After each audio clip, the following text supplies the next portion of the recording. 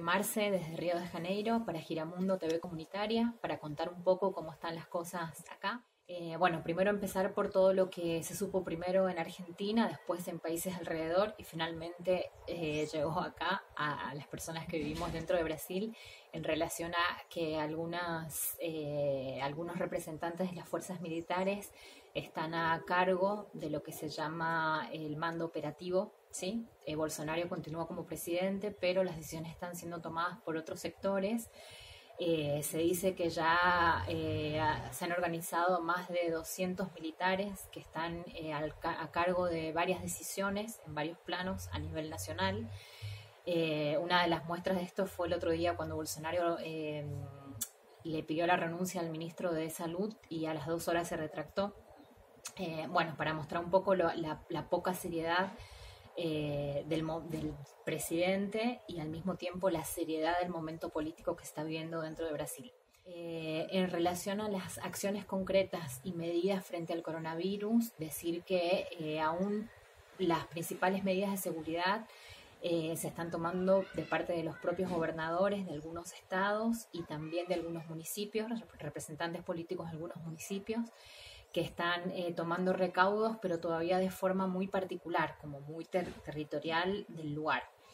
Eh, decir que después de las declaraciones del presidente y como las estadísticas, los datos que están saliendo en las noticias oficiales no son los reales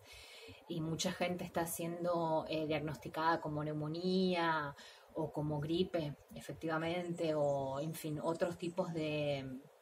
de diagnósticos, eh, la población no lo está tomando tan en serio. Entonces, de la semana pasada, que hubo una disminución de gente en la calle, a esta semana, esta semana que empezó ahora, la gente en la calle aumentó bastante. Eh, los supermercados, eh, los mayores supermercados y los más populares están llenos. De parte del comercio no se está tomando medidas de seguridad, o sea que las filas son enormes, la gente una al lado de la otra en las calles sigue habiendo bastante gente, eh, mucha gente mayor que no toma las debidas distancias, en fin. Eh, todavía no estamos, por supuesto, en el pico y todavía no hay como una percepción real de lo que va a suceder, pero en plano general eh, todavía no se han tomado decisiones fuertes y contundentes y la, la propia población no está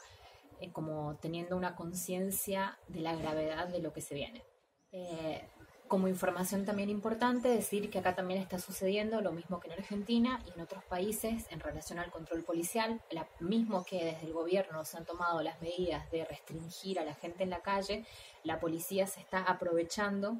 de esta situación para reprimir y siempre desde una perspectiva racista como de todas formas eh, ya lo hacía, pero ahora como con el respaldo de la seguridad partir de la idea de control por la salud. Y como buena noticia, eh, que fue aprobado por diputados, senadores y por el presidente el auxilio emergencial que eh, haciendo una especie de inscripción y viendo quiénes son las personas eh, aprobadas, o sea, que tendrían acceso a este auxilio,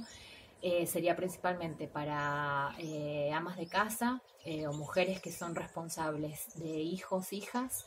y que están en una relación no formal de trabajo eh, y para personas eh, autónomas inscritas en el sistema de, legal de autonomía que se llama MEACA con 600 eh, reales por mes y para las amas de casa con hijos, hijas sería de 1.200 reales por mes, que equivale a un salario mínimo más o menos. bueno, eso en general. Muchas gracias.